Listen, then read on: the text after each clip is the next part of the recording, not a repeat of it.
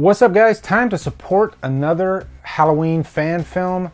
This one is uh, to be headed by Stephen Wolf. He sent me this uh, trailer he wanted me to react to. And what's interesting about this one is that Vincent DiSanti, who was Jason and the director of Never Hike Alone, and who's to be Michael Myers in the Spirit of Haddonfield short that's coming up, he's actually to be Myers in this film too. But this looks like a pretty ambitious project. It's they're planning on shooting this fall. So there's an Indiegogo campaign for it. I'll put the information below in the info box. But uh, yeah, I'm, i know nothing about this film. Uh, there is a plot synopsis, but I, I, kind of want to go in knowing nothing and then I'll read about it after. Now, this is called Halloween The Face of Michael Myers teaser trailer. Okay, so I did read a little bit of the plot synopsis. This does take place 40 years after the original. So just to give you uh, you know, um, a frame of reference.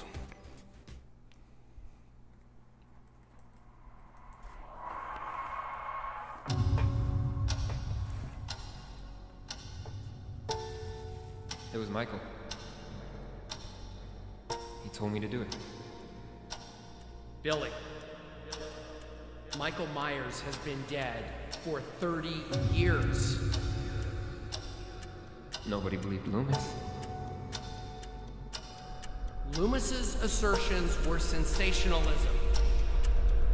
Michael is still here. With us. Even now. And me? I dig that. Andy.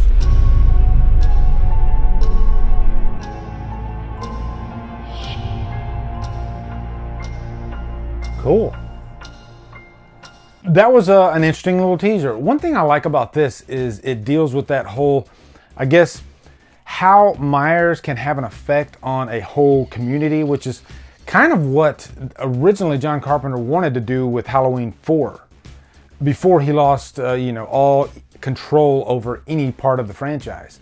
So I like that this one kind of deals with that. Like, what is the fallout of a community after? And there's always that. Um, worry in the back of the mind of is he alive or is he not? And Loomis doesn't help that at all because Loomis is constantly thinking that he might be alive.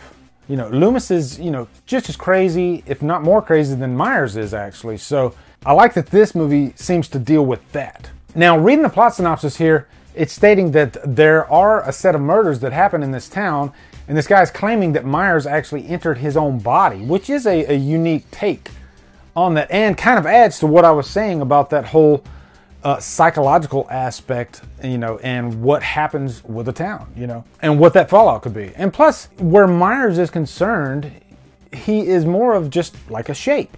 You know, I guess that's why they call him the shape. He he could be physical, he could be an apparition. That's what's great about Halloween. It's never really stated 100% what he is, at least in those first couple movies. So I'm actually looking forward to this. Be sure to support this, guys. Support independent films, support fan films, because there's so many stories that can be told out there, you know? So we don't have to confine ourselves to the, the core franchises. We can actually use our imaginations and either support these fan films or create them ourselves. How cool is that?